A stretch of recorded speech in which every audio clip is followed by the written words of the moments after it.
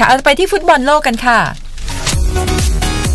World Cup 2018เรามารูดม่านปิดฉากฟุตบอลโลกไปกับคนนี้คนสำคัญของเราขวัญใจของร้อยให้คนหนึ่งคุณซิโก้ เกียรติศักดิ์เสนาเมือง โค้ชซิโก้ สวัสดีค่ะ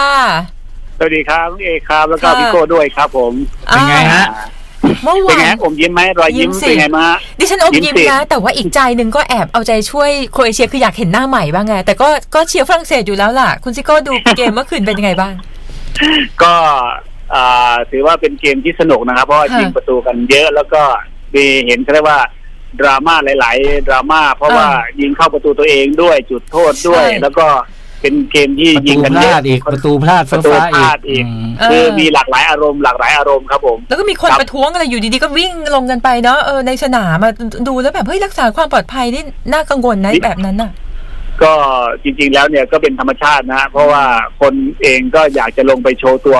อ่าในสนามค่ะอยากเป็นนักบอลอยากเป็นนักเอบอซิลโก้แต่นี่ผมสงสัยนิดนึงเอ่อฝรั่งเศสเขาตั้งใจเล่นแท็กติกนี้เลยปะก็คือปล่อยให้ให้โครเอเชียบุกเนี่ย อ่าเป็นไปได้ครับ เพราะว่าจริง ๆ แล้วเนี่ยอ่าเวลาเกมที่เขาจะอาศัยการโต้กลับ เพราะว่าฝรั่งเศสเนี่ยมีตัวศูนย์หน้าและกองหน้าที่เร็วอย่างเอ็มบัปเป้อย่างเงี้ยนะครับอืมแล้วก็เป็นยุทธวิธีหนึ่งเพราะว่าถ้าเขาไปเปิดเกมลุกเนี่ยเขาช่วยให้โครเอเชียเดินหน้ามาหาเขาดีกว่า แล้วพลังโครเอเชียเนี่ย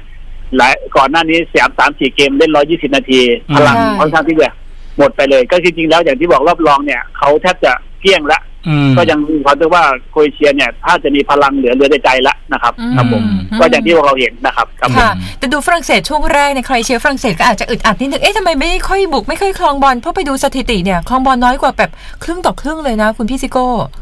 ก็เหมือนกับเป็นการดึงคู่ต่อสู้ให้ค่ะขึ้นมา แล้วอาศัยพื้นที่ด้านหลังในการโต้กลับค่ะจริงๆแล้วเนี่ยฝรั่งเศสก็สามารถที่จะไปเดินเดินบุกแดนบนได้ เห็นไหมช่วงสิบนาทีแรกโครเอเชียจะจะเหนือกว่าเยอะเพราะอะไรต่อบอล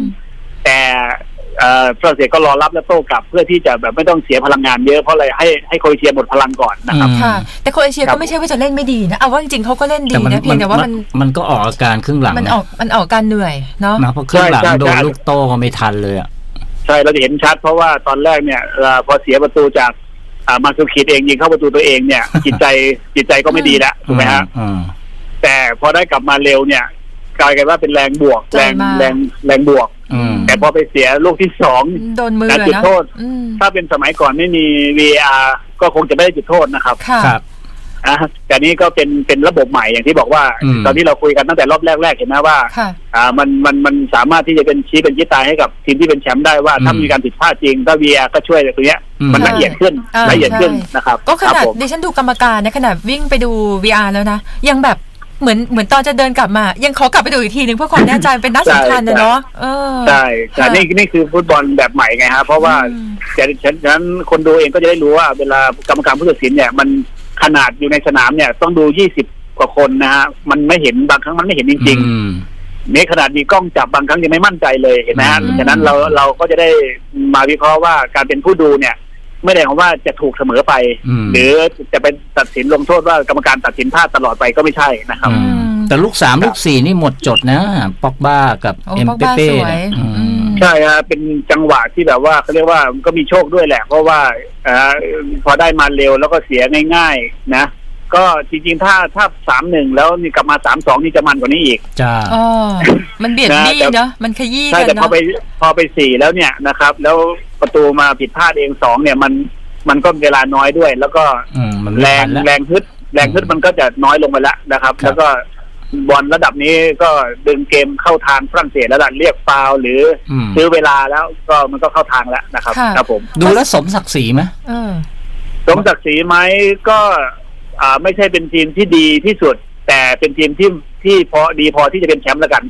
เออหมายหมายถึงใครคะฝรั่งเศสฝรั่งเศสก็ฝรั่งฝรั่งฝรั่งเศสครับอ๋อเพราะว่าคือเพราะว่า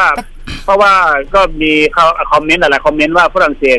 เล่นมาอุดหรือมาเล่นเกมรับหรือเล่นอืมแต่วันนี้เนี่ยฟุตบอลเขาเน้นผลเขาไม่ได้เน้นเอามันใช่อย่างเดียวอืมสนุกอย่างเดียวอืมนะครับคือคือนี่เป็นสิ่งที่เห็นได้ในทัวร์นาเมนต์นี้เลยใช่ไหมคะโค้ชซิโก้รูปแบบการเล่นที่มันเปลี่ยนไปเนี่ย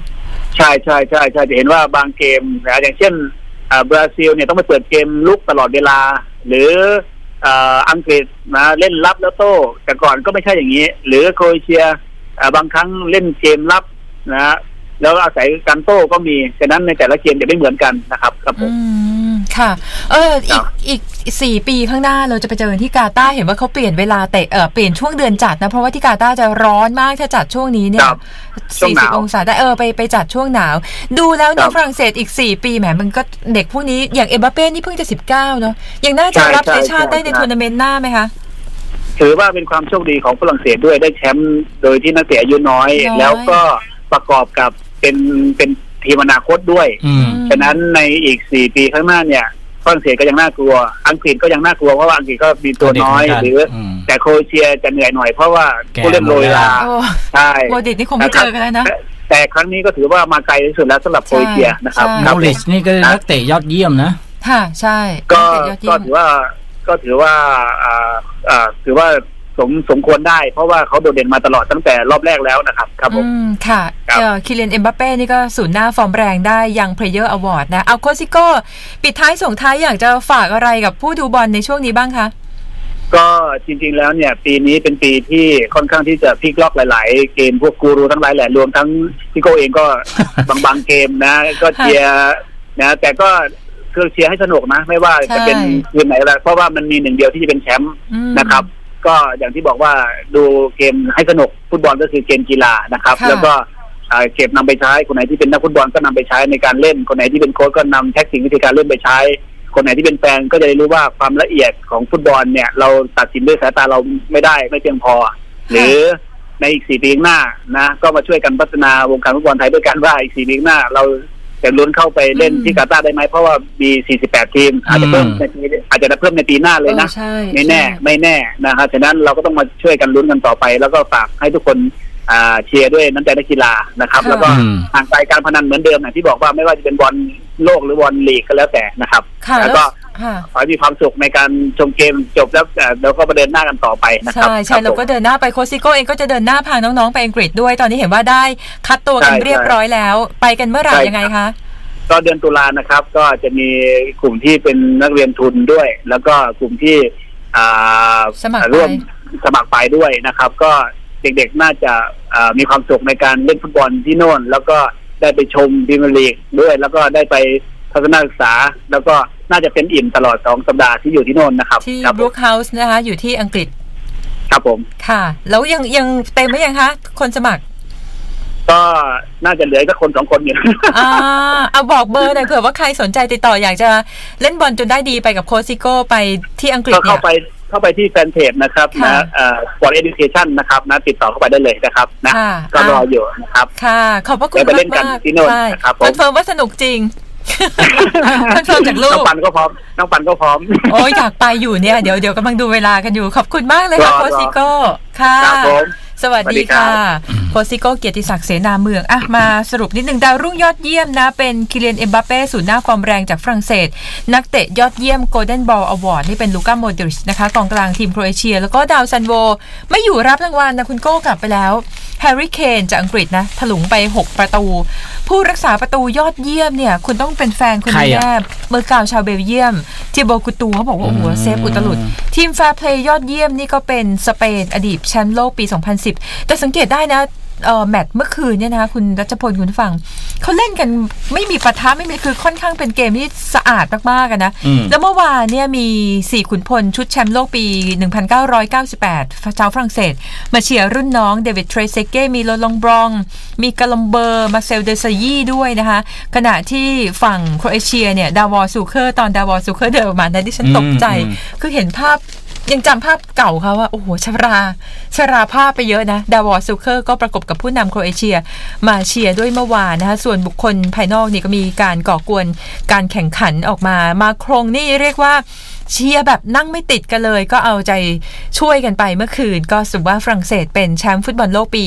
2018 ที่รัสเซียเมื่อวานประธานาธิบดีวลาดิเมียร์ปูตินนี่ก็มา